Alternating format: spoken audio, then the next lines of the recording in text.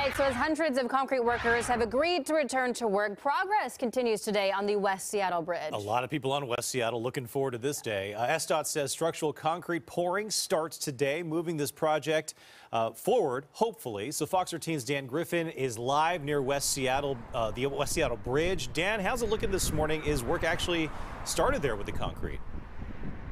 Well, we've definitely seen concrete trucks come and go on the bridge here, and cars have been honking as they come by. I assume that's because they're so excited about seeing this work happening. Maybe, maybe they're excited to see us too. But we know that there is some stuff going on, some work happening on the bridge this morning. And earlier this month, Mayor Bruce Harrell uh, was quoted in an SDOT email saying that he thinks that the mid 2022 target for reopening the bridge may not be impacted by the strike. We know that hundreds of concrete workers have agreed in good faith to come back.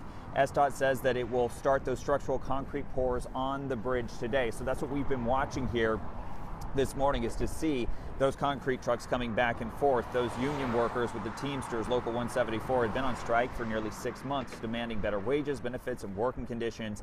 But some workers and dump truck drivers actually returned to work unconditionally in good faith, even as contract negotiations are still happening. Now, there were also projects impacted by delays, including Sound Transit's link extension. WashDOT also faced delayed work, in addition to the bridge here.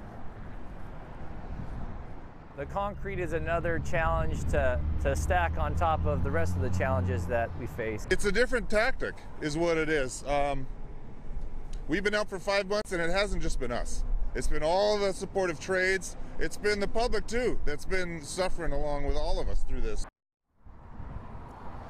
Now, SDOT says as concrete pours progress, it will move the project closer to next steps, including giving it added strength. They will do some final rounds of epoxy injections and carbon fiber wrapping. And after that, SDOT says that there will be testing and preparing to open the bridge, hopefully along that mid 2022 uh, project deadline they've been aiming for. Of course, we'll be here checking in and watching and bring you the very latest as we get it. Now reporting live, Dan Griffin, Fox 13 News.